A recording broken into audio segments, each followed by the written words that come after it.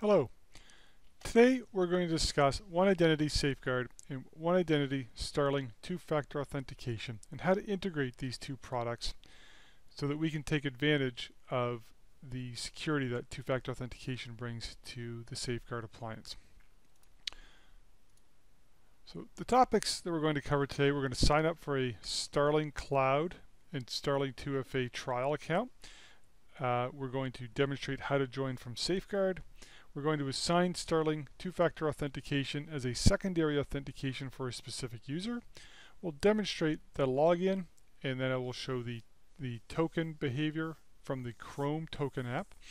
I will then talk about where to get soft tokens from. Uh, I'll show you the Starling 2FA dashboard and how we've started to get statistics at this point.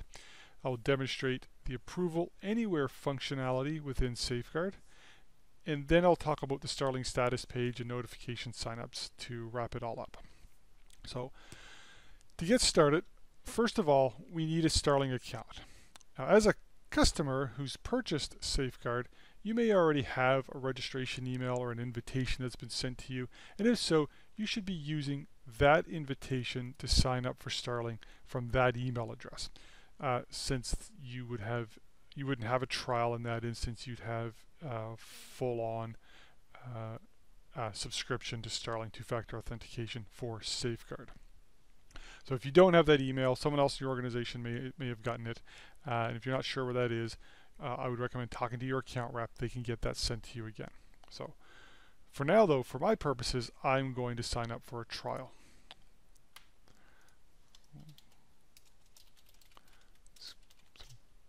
Going to use a generic email address for our purposes today.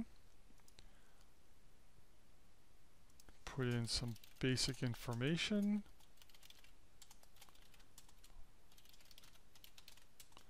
And a phone number is mandatory. There.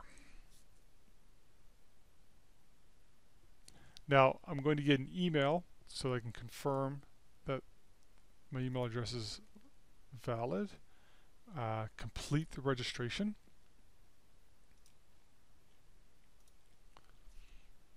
And now I should be able to log in normally.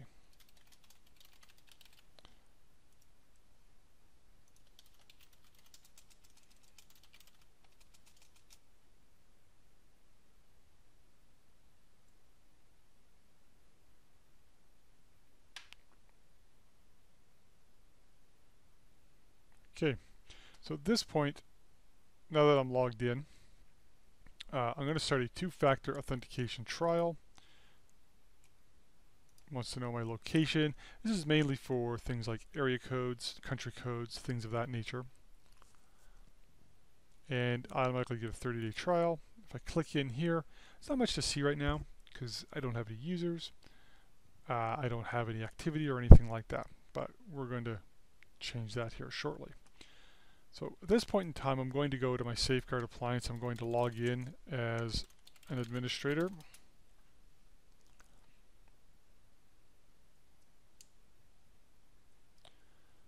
And I'm going to go to Settings.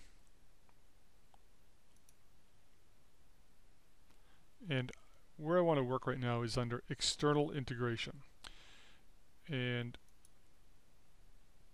we're going to configure this for the approval anywhere, which we talked earlier, which points us to one identity Starling down here. And we're going to join. And we're going to log in using the account we just registered under.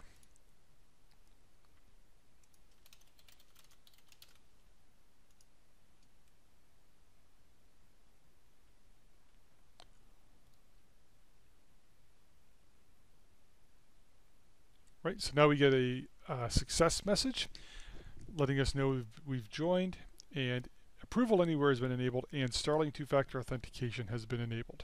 So at this point in time, uh, it's enabled, but it's not being enforced. So we actually have to apply this to a user. So if I go over to users, and I'm going to find my administrator account that I just logged in with. And I'm going to require secondary authentication. And I'm going to select Starling 2FA from the list. And I can set an alternate mobile phone number at this point in time, even though I have one set in Active Directory already under the mobile number attribute. However, if a different mobile number is uh, desired, this is a place where you can set that specifically. Uh, may be desirable in some organizations. Uh, a mobile number, however, uh, is uh, is a requirement for this. That's mandatory. Uh, you also need an email address set for that user as well. Save that.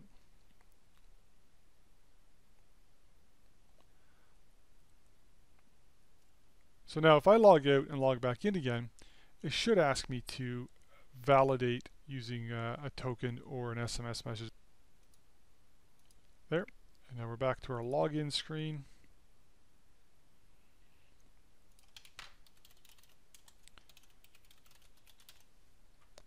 And log in. So by default, if you have a token set up, this will do a push authentication. If you click use a one-time password instead, it will uh, allow you to use something like uh, an SMS message or something of that nature. I'm going to put in my token number for this demonstration and submit.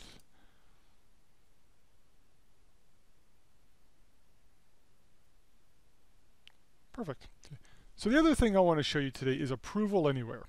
So first of all, let's make sure we're configured to use that. We're going to go back to settings. We're going to go back to external integration and approval anywhere. Right, so perfect. I'm already in here. Uh, you can add other users, but because I had uh, two-factor authentication set up on my user account, I was automatically placed in here because I'm an approver. So I'm going to go log in as a regular user now.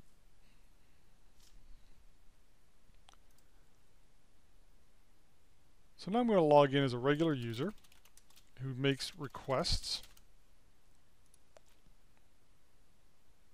Select new request for the asset I have set up. I'm requesting the password. I'm going to put in a reason. I'm testing today. Now I'm going to submit request. Now, as you can see, on my Chrome token here, I, the request pops right up for me, wherever I am. It's also on my phone as well, but it's much harder to show. So I'm going to approve this.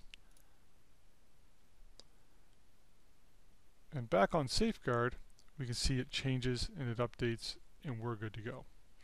So that's approval anywhere.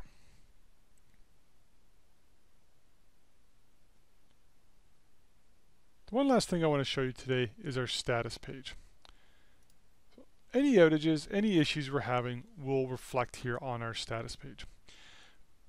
So if you're having issues or anything like that, it's always a great place to check. It's status.cloud.oneidentity.com.